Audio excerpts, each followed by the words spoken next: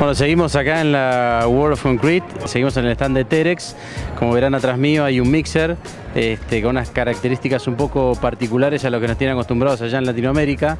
Básicamente porque este, este equipo descarga por la parte frontal, arriba de la cabeza del operario, de forma tal de que en vez de necesitar dos personas, utilizamos solo una.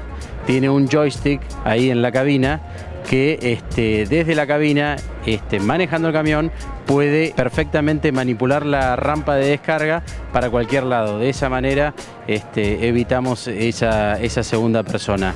Otro, otro de los puntos fundamentales de este tipo de camión fabricado íntegramente por, por Terex, es el tema de, de, la tracción. Estos camiones vienen configurados tracción en el eje delantero y también en, en los dos, tres o cuatro ejes que tenga que tenga atrás, debido a que hay configuraciones que han fabricado hasta siete ejes. Es un poco por el tema reglamentario que hay acá en los Estados Unidos sobre la distribución de peso en las eh, este, autopistas.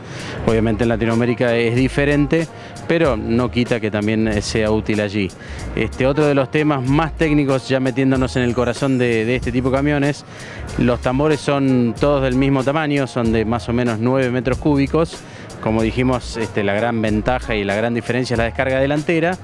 Los motores vienen en dos configuraciones, puede ser MTU o Cummins, que rondan entre los 380 y los 450 caballos de potencia. Las cajas de transmisión automática Allison, ejes Meritor, el eje delantero este, motriz es Meritor del tipo militar. Como pueden ver, este, como sabemos que la cabina está adelante, este, el motor por una cuestión de diseño tiene que sí o sí estar en la parte trasera del camión.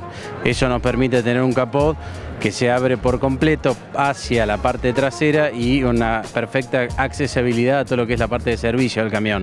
Acá vemos lo que es la entrada a la cabina, vemos el joystick de operación de la rampa de descarga que eh, puede llegar a tener cinco tramos, que son más o menos entre 5 y 6 metros de, longitud, lo cual este, si tenemos que distribuir material a esa distancia, vamos a prescindir de lo que sería una bomba este, de hormigón justamente para llevar el hormigón este, a esa distancia en un camión convencional. Aquí podemos ver la visibilidad de operador respecto a lo que es la rampa de descarga. Tenemos tres ventanas, la, rampa que está por arriba y con el joystick que vimos en la cabina puede controlar perfectamente dónde realizar la, descarga este, sin tener que hacer una maniobra en retaguardia como hacen los mixers convencionales de descarga trasera.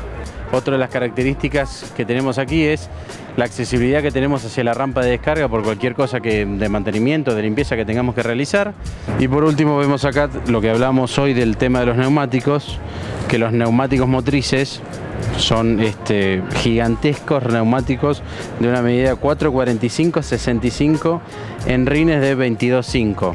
Un neumático que en Sudamérica seguramente hay pocos este, pero acá son eh, bastante estándar para este tipo de, equipos. Desde ya que los, lo, como vemos los motrices son los, los neumáticos grandes y los neumáticos convencionales son los ejes adicionales que se bajan al momento de este, cuando el equipo está cargado y tiene que transitar y distribuir la carga de una manera uniforme.